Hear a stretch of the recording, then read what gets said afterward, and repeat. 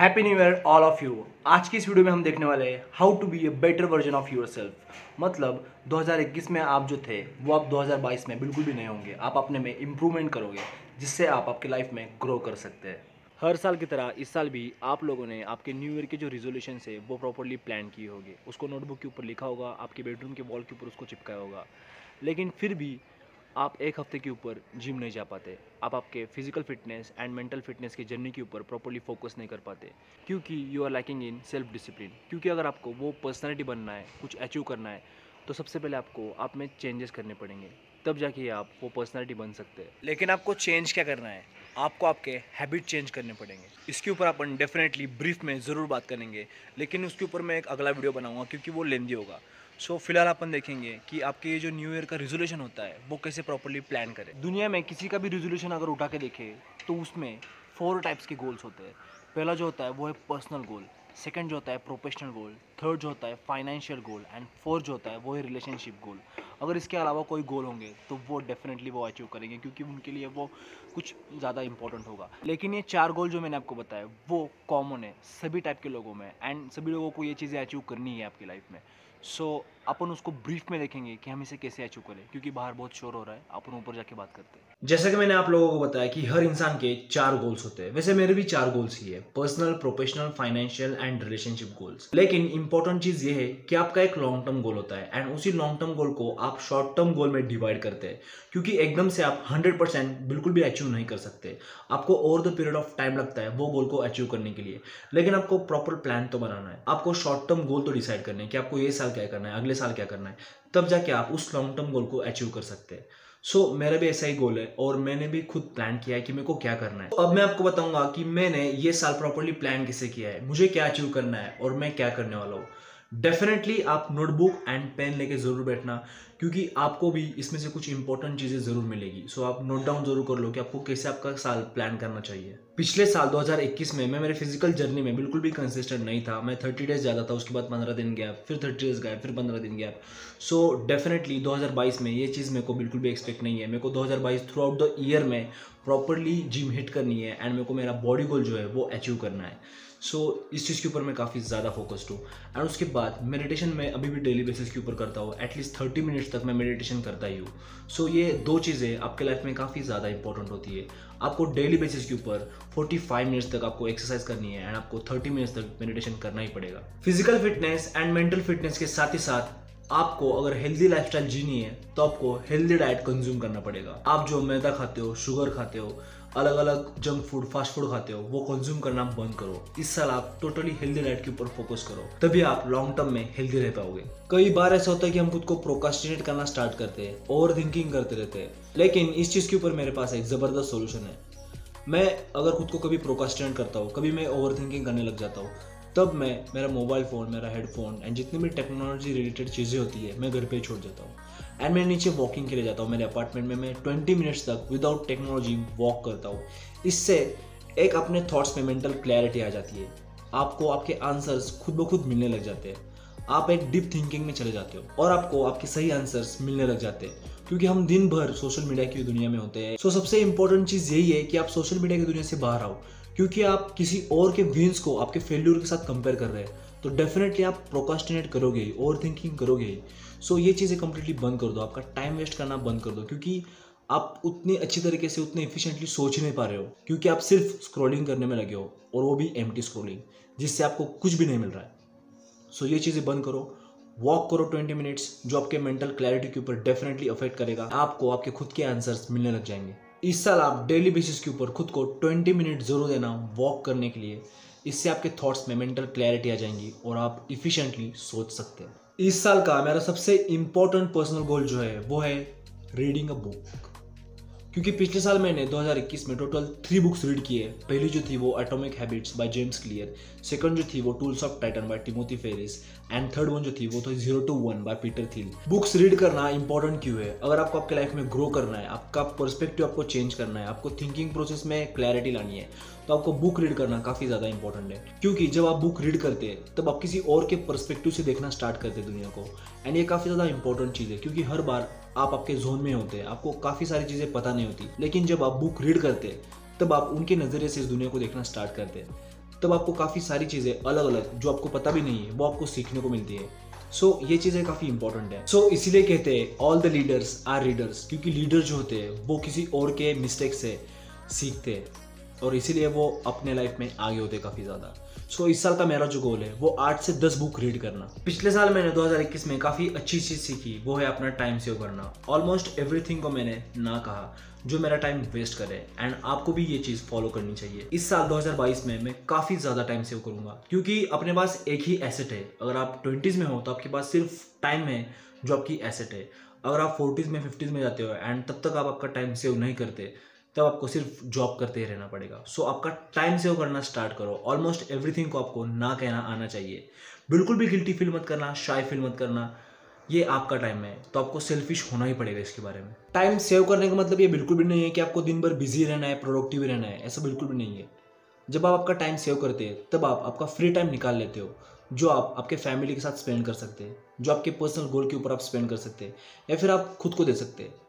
And इस चीज़ के लिए आपको प्रॉपर टू डू लिस्ट बनाना पड़ेगा जिसमें आप आपके जितने भी दिन भर के टास्क होते हैं वो डिवाइड करेंगे थ्री सेगमेंट्स में जैसे कि priority task important task and less important task जो प्रायोरिटी एंड इंपॉर्टेंट टास्क होते हैं वो आप पहले परफॉर्म करेंगे उसे कंप्लीट करेंगे एंड बाकी के जो लेस इंपॉर्टेंट है वो आप कभी भी कर सकते हैं. सो so, ये इंपॉर्टेंट चीज़ है। आपको आपका टाइम प्रॉपरली डिवाइड करना आना चाहिए एंड उसकी तरह से आपको आपका टाइम सेव करना आना चाहिए। जो आप खुद के लिए, आपके फैमिली के लिए दे सको। टाइम के बारे में सबसे इंपॉर्टेंट चीज़ जो मैं खुद भी करता हूँ, बाकी सारे लोग भी फॉलो करते हैं, वो है सोशल मीडिया स्क्रॉल करना। उसे कहते हैं एम स्क्रॉलिंग इससे आप कुछ भी सीख नहीं रहे हो। आप सिर्फ़ एम स्क्रॉलिंग करते जा रहे हैं, किसी को लाइक कर रहे हैं, किसी को कमेंट कर रहे हैं। लेकिन इससे कोई भी मतलब बेनिफिट नहीं है आपका। आपका टाइम ही इसमें वेस्ट हो रहा है। सो ये चीज़ थोड़ी सी बचा लो। आपको अगर सोशल मीडिया पे टाइम स्पेंड ही करना है तो उसका टाइमर लगा लो। टेन मिनट्स ट्वेंटी मिनट्स लेकिन इससे ज़्यादा बिल्कुल भी आप स्पेंड मत करना क्योंकि आपका टोटल टाइम वेस्ट होने वाला है। सेकेंड गोल जो है वो है प्रोफेशनल गोल एंड हर एक आदमी का प्रोफेशनल गोल अलग होता है। क्योंकि किसी को जॉब में ही हायर की हासिल करनी है तो किसी को खुद का अपना बिज़नेस स्टार्ट करना है। सो so, मैं भी उसी परस्पेक्टिव से आया था कि मुझे अपना स्टार्टअप बिल्ड करना है। एंड मैं कैसे करूँ? इसलिए मैंने स्टार्टअप में ही काम करना स्टार्ट किया। तो उससे मैंने काफ़ी सारी चीज़ें सीखी काफ़ी ज़्यादा नॉलेज मैंने गेन किया कि एक्चुअल में स्टार्टअप बिल्ड कैसे करना है। स्टार्टअप बिल्ड करने के लिए क्या प्रोसेस है क्या सिस्टम्स है जिससे स्टार्टअप चलता है। स्टार्टअप में काम करने का एक बढ़िया बेनिफिट जो है वो है कि हर एक बिज़नेस सेगमेंट को आपको क्लोजली देखने का मौका मिलता है। आप सेल्स कैसे चलता है वो देख सकते हैं। मार्केटिंग कैसे चलता है वो देख सकते हैं। लॉजिस्टिक कैसे चलता है वो देख सकते हैं। ऑपरेशन प्रोडक्ट डेवलपमेंट टीम कैसे चलती है वो देख सकते हो। सो so, और एक इसमें एक इंपॉर्टेंट चीज़ है कि हर एक आदमी जो होता है वो एक अलग अलग एक्सपीरियंस गेन करके आता है। और उनके एक्सपीरियंस के थ्रू भी आपको काफ़ी सारी चीज़ें सीखने को मिलती है। सो so, मेरा बस यही मोटिव था कि मैं स्टार्टअप में काम करूँ। मैं देखूँ क्लोजली कि बिज़नेस रन कैसे होता है एक्चुअली क्योंकि जो बड़ी बड़ी एम कंपनीज़ होती है वहाँ पे जाकर डायरेक्टली आपको एक प्रोसेस सेट होता है आपको वही काम करना पड़ता है। लेकिन स्टार्टअप एक ऐसी चीज़ है जहाँ पे आपको एक्चुअल में देखने को मिलता है कि कंपनी स्क्रैच से कैसे बिल्ट हुई एंड ऊपर कैसे ग्रो हुई। सो so, उस चीज़ में जो प्रोसेस लगी जो सिस्टम लगी वो आपको सीखने को मिलती है एंड वो ज़्यादा इंपॉर्टेंट है। सो so, इस साल का मेरा गोल यही है कि मैं अपने स्टार्टअप के लिए आइडिया जनरेट करूँ उसे वैलिडेट करूँ एंड एक्चुअल इम्प्लीमेंटेशन की प्रोसेस में उसे लाना स्टार्ट करूँ। क्योंकि डेफिनेटली ये मेरा लॉन्ग टर्म विजन है लॉन्ग टर्म गोल है कि मैं मेरा स्टार्टअप बिल्ड करूँ खुद का। सो so, इसलिए मैं इस साल डेफिनेटली उसके ऊपर एक्ट करूँगा। एंड मैं कम से कम one two two hours daily basis के ऊपर इसके ऊपर स्पेंड करने वाला हूँ। वन टू टू आवर्स क्यों? क्योंकि small actions create big difference ये आपने सुना होगा। एंड ये डेफिनेटली सच है। क्योंकि सिर्फ़ बोलने से डेफिनेटली कुछ नहीं होगा। आप सिर्फ़ बोलते चले जाओगे। एंड इतने साल आपने सिर्फ़ बकबकी की। अगर आपको कुछ एक्चुअल में हासिल करना है तो आपको एक्शंस लेना काफ़ी ज़्यादा इंपॉर्टेंट है। You need to be agile for everything what you want in your life so आपको एजिलिटी से वर्क करना पड़ेगा। आपको एटलीस्ट एक से दो घंटा पुट करना पड़ेगा, जो चीज़ आपको हासिल करनी है उसमें। आपके प्रोफेशनल गोल में आपको प्रोडक्टिव रहना काफ़ी ज़्यादा इंपॉर्टेंट है। जैसे कि मैं एक वीडियो बना रहा हूँ। अभी जो मैं आपके सामने ये वीडियो बना रहा हूँ तो इसमें मैं तकरीबन पिछले एक दो घंटे से फुल्ली फोकस्ड हूँ, क्योंकि मुझे पता है कि मुझे क्या करना है। लेकिन अगर आप कोई काम करते हैं, तब आप बीच में से ही सोशल मीडिया स्क्रॉल करने लग जाते हैं या फिर आप गपशप करते रहते हैं। सो ये चीज़ आपको टोटली अवॉइड करनी है। अगर आपके कुछ गोल्स है, आपको कुछ हासिल करना है, या फिर आपको कोई प्रायोरिटी टास्क है तो आपको प्रॉपरली टाइमर लगा के काम करना पड़ेगा। आपको फोकस रहना पड़ेगा आपके टाइम के ऊपर। क्योंकि बिज़ी एंड प्रोडक्टिव में काफ़ी बड़ा डिफरेंस है। अगर आप बिज़ी हो तो इसका मतलब ये है कि आप सिर्फ़ बिज़ी हो। आप इफिशियंटली आपका काम नहीं कर रहे। लेकिन अगर आप प्रोडक्टिव हो तो आपको पता है कि आपको एक घंटे में ये काम कंप्लीट करना है। आपके पास डेडलाइन है एंड आपके पास आपका काम पड़ा है। एंड वो आप फोकसली डेफिनेटली फुलफिल करेंगे। इसे कहते हैं प्रोडक्टिविटी तो आपको, आपके प्रोफेशनल लाइफ में प्रोडक्टिव रहना आना चाहिए। प्रोफेशनल गोल अचीव करने के लिए मैं आपको एक सिंपल सी टर्म बताऊँगा, वो है take more actions and speak less ये काफ़ी ज़्यादा इंपॉर्टेंट है, वो जल्द से जल्द आपके दिमाग में डाल दो, क्योंकि जितने तेज़ी से आप एक्शंस लोगे, उतने ही आप ऊपर चले जाओगे। थर्ड मोस्ट इंपॉर्टेंट जो गोल है, वो है फाइनेंशियल गोल एंड आप सभी को पता है, अगर अपने पास फाइनेंशियल स्टेबिलिटी होगी तो अपन हैप्पी रहते हैं। अपने को कोई भी टेंशन बिल्कुल भी नहीं रहता। लेकिन ये फाइनेंशियल स्टेबिलिटी हासिल कैसे करें? एक बात मैं आपको बता दूँ फाइनेंशियल स्टेबिलिटी बिल्कुल भी नहीं आती जब तक आप अपना बिज़नेस स्टार्ट करते हैं। अगर आप एक अच्छी पोजीशन पे एक अच्छे हायर की लेवल पे जॉब कर रहे हैं तभी आपको फाइनेंशियल स्टेबिलिटी आ सकती है। लेकिन अगर किसी की थर्टी थाउज़ेंड सैलरी है तो वो फाइनेंशियल स्टेबिलिटी हासिल कैसे करे? सो so, इसके लिए आपको properly save invest and repeat this things आपको करना पड़ेगा। तब जाके आप फाइनेंशियल स्टेबिलिटी हासिल कर सकते हैं। लेट सपोज़ आपकी थर्टी थाउज़ेंड सैलरी है। तो इस चीज़ के लिए आपको टोटल तीन बैंक अकाउंट लगने वाले हैं। पहला जो होगा वो सैलरी अकाउंट होगा, जिसमें आपकी सैलरी जमा होती है। सेकंड जो होगा, वो होगा सेविंग अकाउंट एंड थर्ड जो होगा, वो होगा एक्सपेंस अकाउंट सो सबसे पहले आपकी जब सैलरी इसमें जमा होगी थर्टी थाउज़ेंड रुपीज़ तो उसमें से आपको बीस परसेंट मतलब छः हज़ार रुपया सेविंग अकाउंट में ट्रांसफ़र कर देना है आपके सैलरी अकाउंट से। उसके बाद आपको लेट सपोज़ आप एक्सपेंस करते हैं ten thousand rupees per month तो आपको वो दस हज़ार रुपीज़ आपके एक्सपेंस अकाउंट में ट्रांसफ़र करने आपके सैलरी अकाउंट से। इससे क्या होगा कि आपका जो फाइनेंशियल प्रोसेस है, वो स्मूथ चलता रहेगा, जिससे आपका मतलब एक्सपेंस अकाउंट में वो अमाउंट आ जाएँगी। सेविंग अकाउंट में आपके पैसे हर महीना बाजू को रहेंगे, जो आप सेविंग कर सकते हैं, जिससे आप मंथली ट्वेंटी परसेंट अमाउंट आपका सेव कर सकते हैं। एंड इससे डेफिनेटली आपको फाइनेंशियल स्टेबिलिटी ज़रूर आएगी, क्योंकि आपको पता होगा कि आपके पास इतने पैसे अभी तक आपने सेविंग करके रखे अगर आपको आपके सेविंग के ऊपर अच्छा रिटर्न कमाना है तो आप बैंक में या फिर एफडी के अलावा आप एसआईपी में इन्वेस्ट करना स्टार्ट करो।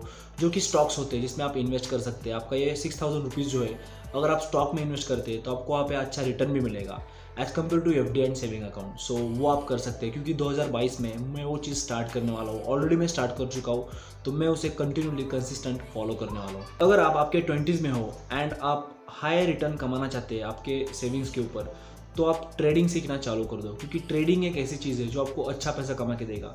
लेकिन जितना अच्छा पैसा आप कमाओगे उतना हाई रिस्क भी इसमें आता है। सो so, इसलिए मैं आपको रिकमेंड करूँगा कि आपकी जितनी कैपेसिटी है जितना आप लॉस सह सकते हो उतने कैपिटल से आप स्टार्ट करना। जितना कम हो सके उतने कैपिटल से आप स्टार्ट करना एंड उसे सीखना। क्योंकि अगर आपको ट्रेडिंग आ गया तो लॉन्ग टर्म में आप अच्छे पैसे कमा सकते हैं। क्योंकि मैं खुद ट्रेडिंग सीख रहा हूँ एंड मैं ट्रेडिंग करना चाहता हूँ। सो so, काफ़ी सारी चीज़ें मैंने सीखी उसमें और मैं डेली बेसिस के ऊपर प्रैक्टिस भी कर रहा हूँ लॉसेस भी किए प्रॉफिट भी किया लेकिन उसी से तो आदमी सीखता है। फोर्थ एंड मोस्ट इंपॉर्टेंट जो गोल है वो है रिलेशनशिप गोल एंड इसका मतलब ये बिल्कुल भी नहीं है कि मैं रिलेशनशिप में हूँ। लेकिन आपकी फैमिली होती है आपके फ्रेंड्स होते हैं इन लोगों के साथ आपको टाइम स्पेंड करना आना चाहिए। एक दिन का कम से कम आप थर्टी मिनट से लेके वन आवर तक आपके फैमिली के साथ टाइम ज़रूर स्पेंड करना।